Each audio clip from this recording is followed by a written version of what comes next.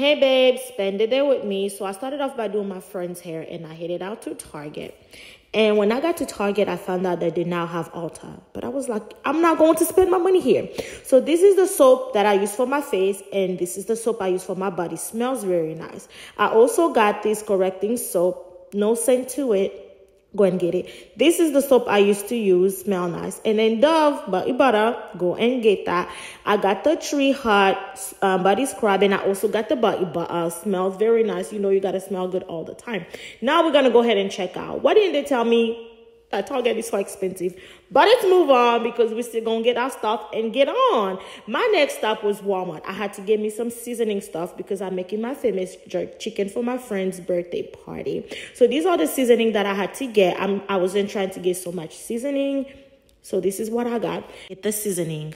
So this is the jerk seasoning that I got. They did not have the mild jerk seasoning, so I had to get the hot and spicy mild seasoning.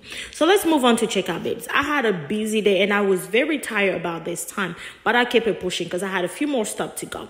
So my next stop was Best Buy. I had to get a Best Buy to get my Beats, and this is me just checking in at the store because I did curbside pickup. I wasn't trying to go in. So this is my Beats right now, babes. I love them. My next stop is CVS. I had to get me some feminine products, and this right here, babes, get it. My two favorite product from CVS. My next stop was Sam's Club. I had to get me some chicken because you know what? I'm making some jerk chicken for my friend's birthday. My famous jerk chicken, babes. If you haven't had it, you are missing out. So, and I had to get me some croissant, babes, because you know I'm a French babe, just playing. My next stop was a beauty supply. I had to get me some bleach because I'm doing hair.